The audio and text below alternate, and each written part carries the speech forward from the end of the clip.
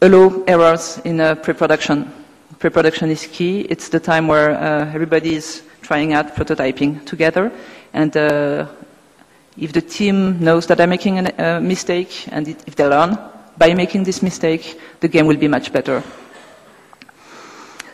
And the last, uh, last aspect, it's something that we never did yet in Ubisoft India, is that at the end of the production, when you're like a beta or debugging, usually it's the moment where all the tools are stable, uh, the team is at full-fledged, uh, there's a really, really good uh, spirit because you're almost reaching the end.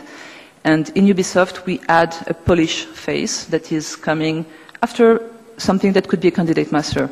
And we're still just working on improving the quality because things are so efficient that what you do in one hour uh, is, uh, is much better than what you do in one hour in pre-production. So it's not there in uh, Ubisoft India, but it's something that I'd, I'd like to push. And giving time doesn't mean that you're going to be late. It's that this can be planned. You can give time, plan, have buffer, and make sure that uh, people have time to deliver the quality. Control quality and control. This uh, is uh, very much linked. We have developed a, a, development process in Ubisoft that is shared by many companies. I know EA has something that's similar.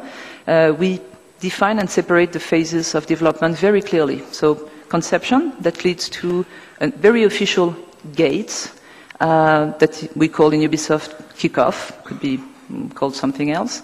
And the gate is a moment where the team is presenting to the board what they did. And the, the output of this meeting is either we kill the game, we go for the next phase, so, uh, or we redo uh, a bit of what is needed in conception, and then we extend the budget. Um, after the kickoff, pre-production happens, so prototyping and uh, trials and errors. This leads to a vertical slice of the game. This is very, very, you know, known. Uh, I think it's Mark Cerny uh, who uh, like uh, uh, conceptualized this uh, methodology. So the vertical slice is just an excerpt of your game, but with a level of quality that could be publishable. It's very costly to do this. but you create a benchmark that then will make your production extremely fast and easy, easy, like faster and easier. Uh, so this vertical slice FPP is again presented to the board or presented to somebody who's very scary. Uh, and if there's a go, then the team can enter production. After production, I think the, the definitions of the milestones are like everywhere in, in, uh, in the industry, alpha, beta, debug, etc. And in Ubisoft, for some games, and usually it's for new IP, we do add this polish phases, uh, phase sorry, between debug and release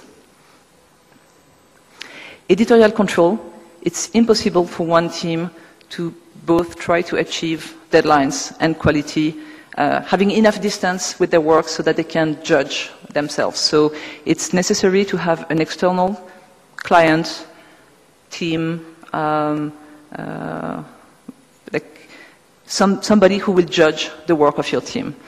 Um, it's, yeah, they're called gatekeepers. Uh, third thing that I believe is important is that uh, every single game should go through two playtests during its uh, development. Playtest with your players, and you observe your players, and you get to understand why nobody can play your game, usually.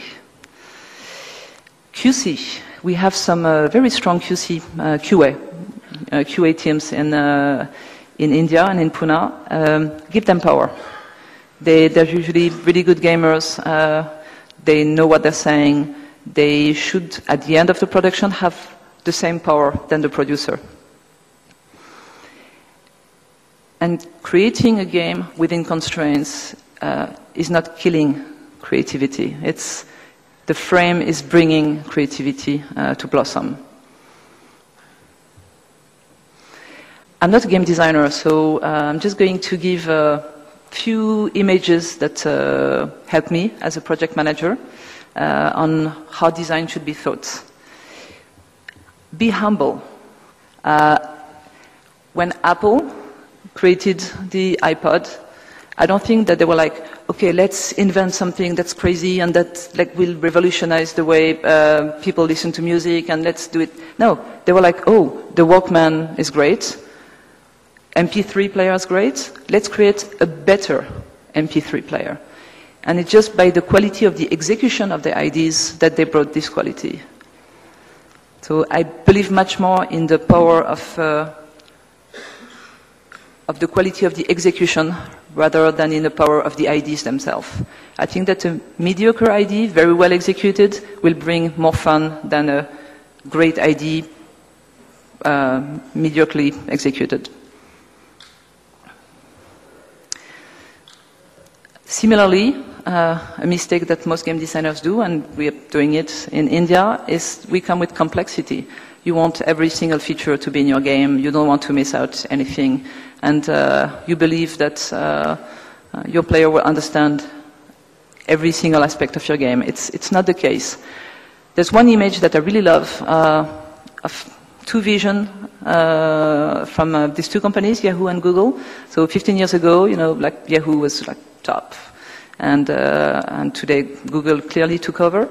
And uh, when you look at their uh, the search engine and the way it's presented to the customer, it's actually interesting is that the more you go in time, the more complex Yahoo is. So the first, the first line is Yahoo, and the line on the bottom is Google. So with years going, Google just simplifies and reduces. And at the same time, Yahoo is just giving you more information. Where do you want to look for information? You're just lost in the first, uh, in the first line. Uh, that's my guess. I hope there's nobody from Yahoo. Sorry, guys. benchmark. The, the Matchbox CEO, I'm, I'm pretty sure he doesn't use his own matches. Or, or maybe he does, I don't know. But like, benchmark your work. Ask yourself, individual level, uh, if what you're doing is really good. And when you think it's good, like, like continue adjusting and polishing. Then benchmark with the people around you. Have your friends playing, have your team playing. Uh, let them contradict you, and uh, uh, conflict and contradiction uh, brings quality. It's tough to manage, but it's, it's what creates better content.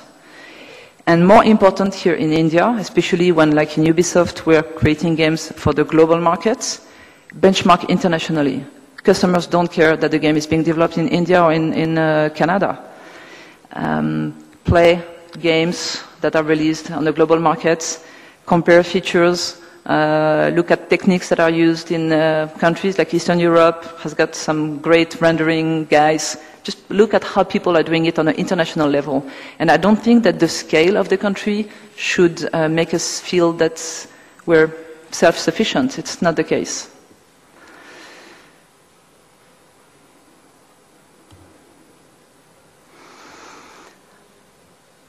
This is another method that we use in Ubisoft. It's used widely too, and not just in, uh, in many product development companies. We call it the persona. So the persona is uh, uh, impersonification and bodification of your target audience. You define it very precisely. It's uh, Laura, and she's uh, 14 years old, and she lives in the UK, and she likes this, and her friends do this and this. You give her a name, a picture, you print it for your team, and everybody will keep in mind that they're doing a game for Laura and not for themselves. This persona is a filter um, that you can use when making decisions in design. It's impossible to create a feature that will please everybody. So use your persona. It will allow you to decide that you cannot have a game that's both uh, at the same time extremely uh, easy and hard. It will help you make decisions, it will help you reach um, design or ideas that are much more pure. And I've seen many teams losing this vision, losing their vision because they lose the persona. They start thinking that they're doing the games for themselves. It's a very common mistake of uh, junior uh, game designers. Uh, it's hard to try to think of your audience as somebody who's totally different than uh, who you are, but it's the way you can create uh, very good games. And we heard uh, Mark Skaggs yesterday, you know, he, he was talking to his wife. Like the first game that he was doing, he knew he was doing them for his wife. So you don't make a game for you.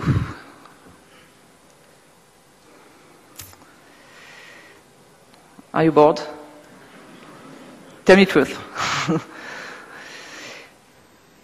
it's actually the end of the presentation, so I'm just going to uh, um, show you a video that is a good example of uh, what we do in Ubisoft in terms of uh, team spirit and in terms of uh, um, quality of content. Thanks a lot for your listening.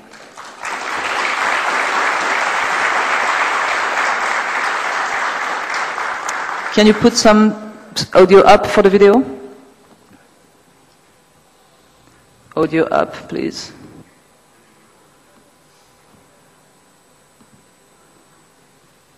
audio up. The beautiful part about Higher, is it touches everything. Uh, entertainment, music, movies, sports. More. Yeah, you can say that. Excuse me? Can you put some more volume, please?